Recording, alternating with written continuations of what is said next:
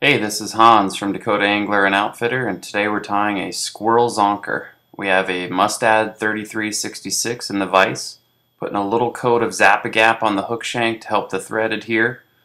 We're using gel spun thread starting at the front of the hook and winding back to the barb. Trim off your excess thread. Use sharp scissors if you can. Then we're going to tie in a tail of crystal flash, a good 20 strands or so. Advance my thread up, wind back to the barb again, making sure you've got a nice underbody and your fly has a nice taper that way. Trim those to length. And then we're going to tie in a wire rib. I'm going to use a red wire, ultra wire.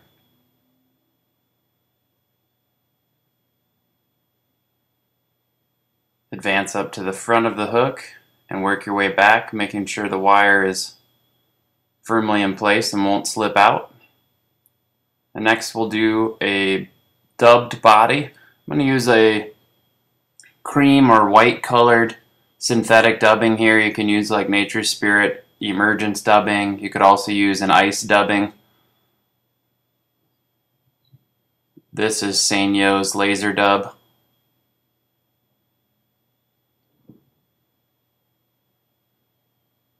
Kind of a tapered, so starting finer and, and gradually getting thicker as you go to the front of the hook.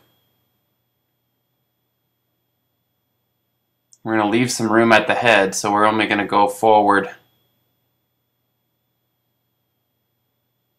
two-thirds of the way. Well, a little more than two-thirds of the way, but we're leaving here um, at least some space behind the eye so we can put in our, our head later. So a good eighth of an inch or more. Next we're going to tie in a squirrel strip, a squirrel zonker strip just by the tip right at the front of the hook. Working that back a little way so your working room at your head will be more like a quarter of an inch when you're all done. And to tie in our squirrel strip, we're just going to use the wire ribbing. Fold apart in the hair wrap the wire over to secure the strip.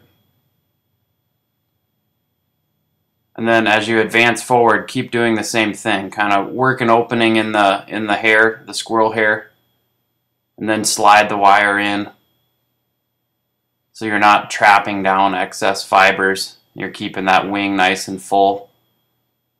Keep working that wire forward, spacing out your ribs evenly as you go along. It's a little bit fastidious, but as you tie more of them, you'll get more adept at working that wire through without trapping down lots of the, the fibers from that zonker strip. And then finally, when you reach the front, where your thread's waiting, tie off your wire.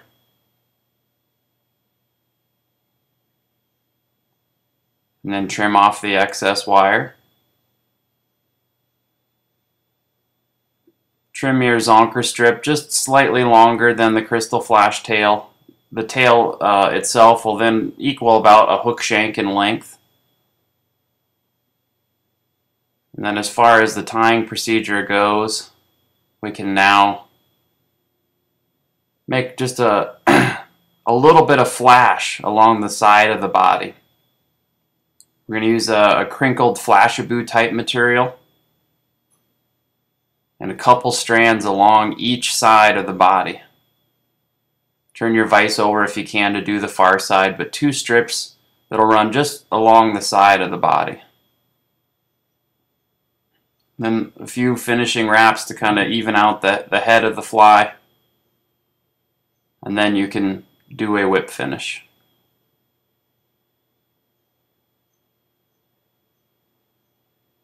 I'm just using some half hitches, several half hitches. This is all going to be covered up by epoxy, or in this case, clear cure goo. Next, we're going to add some eyes. We're going to use the cure clear cure cure uh, clear cure goo eyes. Hard to say. CCG eyes is an easier way to do it. Put one of those on each side.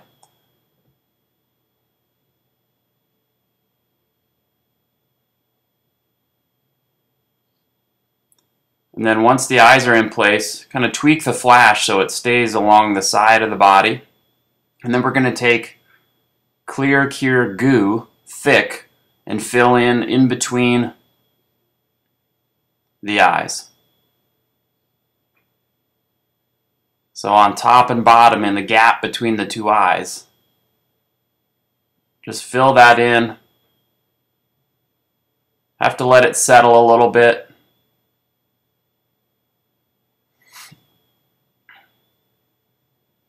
You can even take a bodkin and kind of work it down into the little crevice. It, sometimes air gets trapped in there and it's it takes a little bit of uh, working back and forth to make sure that gap is, is actually filled.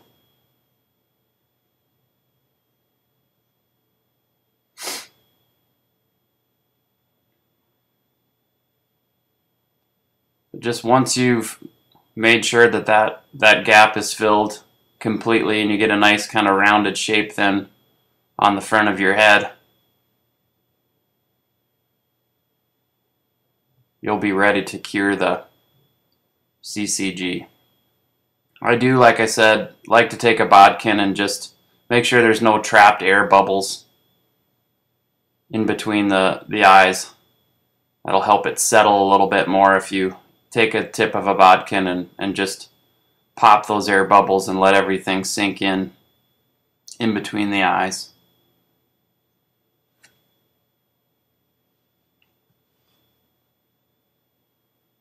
So now you can take your curing light, hold that in place since it's a, it's a deep crevice. It, it takes a little while for that to, to fully cure down in the bottom there. Make sure you, you hit each side quite a while. And with the thick, when you're done curing this, you'll test it to make sure it's, it's set.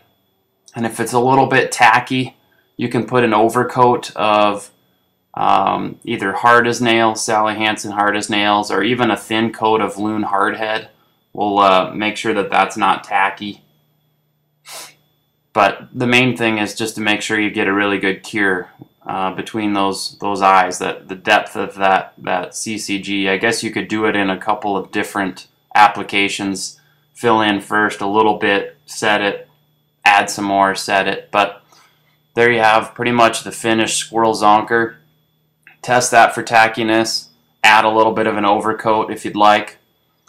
But a fun pattern, you can mix up the colors, change um, the materials you're using by switching over to a rabbit strip.